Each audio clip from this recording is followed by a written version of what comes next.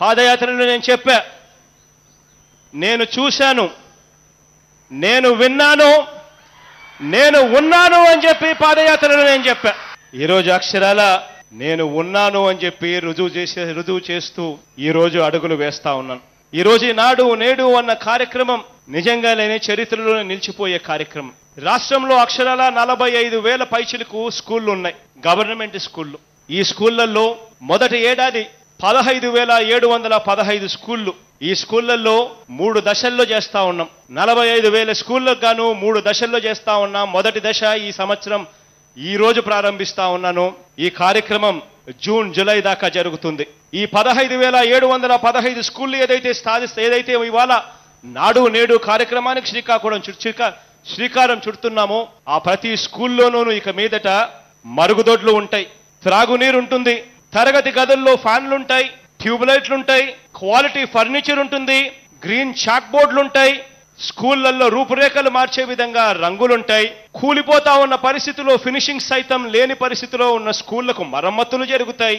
అవసరమైన మేరకు అదనపు తరగతులు గదులు వస్తాయి కంపౌండ్ వాల్ వస్తుంది ఇంగ్లీష్ ల్యాబులు వస్తాయి ఇలా తొమ్మిది రకాల ఏదైతే బేసిక్ ఇన్ఫ్రాస్ట్రక్చర్ ఏదైతే అవసరమో అవన్నీ కూడా ఈ పదహైదు వేల ఏడు వందల పదహైదు స్కూళ్ళలో ఖచ్చితంగా ఏర్పాటయ్యేట్టుగా కూడా చర్యలు తీసుకుంటా ఉన్నాం. ప్రతి స్కూల్ను ఇంగ్లీష్ మీడియం చేయబోతా ఉన్నాము. ప్రతి స్కూల్లోనూ కంపల్సరీ సబ్జెక్టుగా తెలుగు కూడా ఉంటుంది అని చెప్పి ఈ వేదిక మీద నుంచి సగర్వంగా కూడా తెలియజేస్తా ఉన్నాను. ఈ రోజు ఇక్కడ ఈ కార్యక్రమం ఏదైతే చేస్తా ఉన్నామో మొట్టమొదటి సంవత్సరం రేపు సంవత్సరం మొదలవుతూనే ఒకటో తరగతి నుంచి ఆరో తరగతి దాకా ఇంగ్లీష్ మీడియం చేస్తాం. ఆ తర్వాత ఏడో తరగతి ఆ తర్వాత ఎనిమిదో తరగతి ఆ తర్వాత తొమ్మిదో తరగతి ఆ తర్వాత పదో తరగతి. ఇలా పదో తరగతిలో కామన్ ఎగ్జామ్ సిబిఎస్ఈ కానీ ఐసిఎస్సి కానీ కామన్ ఎగ్జామ్ రాసే టయానికల్లా అక్షరాల మన పిల్లలకు నాలుగేళ్ళు గడువు ఉంటుంది. ఆ నాలుగు సంవత్సరాలలో మన పిల్లాడు కింద మీద పడతాడు. మనము మన పిల్లాడికి తోడుగా ఉంటాం. అన్ని రకాలుగా మన పిల్లాడు ముందడుగు వేసేందుకు అన్ని రకాలుగా అండదండలుగా ఉంటాం. ఆ పిల్లాడు ముందు కొంచెం కష్టపడతాడు. పేరెంట్ కమిటీ చేశాం. ప్రతి స్కూల్లోనూ పేరెంట్ కమిటీలు వేస్తూ ఆ పేరెంట్ కమిటీల ద్వారా స్కూళ్ళలో జరుగుతా ఉన్న వ్యవహారాల మీద తల్లిదండ్రులను భాగస్వామ్యం చేశాం. స్కూళ్ళలో జరుగుతా ఉన్న విద్యా విధానాన్ని స్కూళ్ళలో ఉన్న ఇన్ఫ్రాస్ట్రక్చర్ను పూర్తిగా కూలిపోకుండా వాళ్ళంతా కూడా విద్యా విధానాన్ని కాపాడే కార్యక్రమం చేస్తారు పేరెంట్స్ కమిటీలు? ఈ ఒకటో తరగతి నుంచి ఆరవ తరగతి దాకా ఇంగ్లీష్ మీడియం మొట్టమొదటిగా ప్రవేశపెట్టినప్పుడు ఛాలెంజెస్ ఉంటాయి.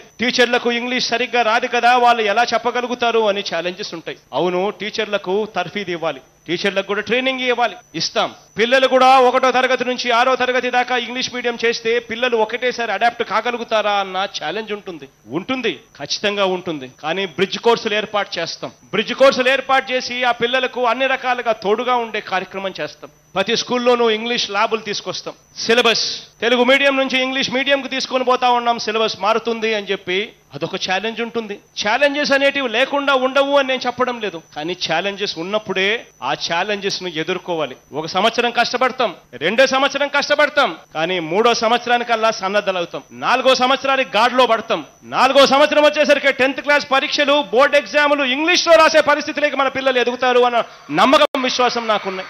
ఈ ఛాలెంజెస్ ఉంటాయి అని చెప్పి మన పిల్లలను ఇవాళ గాలి కొదిలేస్తే మన పిల్లలను ఇవాళ తెలుగు మీడియం స్కూళ్ళలోనే చదవని మంగి మగ్గిపోని అని చెప్పి వదిలేస్తే వాళ్ళ తలరాతలు మారవు వాళ్ళ బ్రతుకులు మారవు. రేపొద్దున భావి ప్రపంచంతో వాళ్ళు పోటీ పడాలి అని అంటే మన పిల్లలు ఎదగాలి అని అంటే ఈ రోజు మనం తీసుకునే నిర్ణయం ఖచ్చితంగా ఎంతమంది వ్యతిరేకంగా ఎన్ని మాటలు మాట్లాడినా నన్ను టార్గెట్ చేసినా కూడా అవన్నీ కూడా పట్టించుకోకుండా దేవుడి మీద నమ్మకం ఉంచాలి ప్రజల దీవెనల మీద నమ్మకం ఉంచాలి ముందడుగులు వేయాలి వేస్తాను అని చెప్పి గట్టిగా కూడా చెప్తా ఉన్నాను. ఈ వీడియో గనక మీకు నచ్చినట్లయితే లైక్ చేయండి షేర్ చేయండి.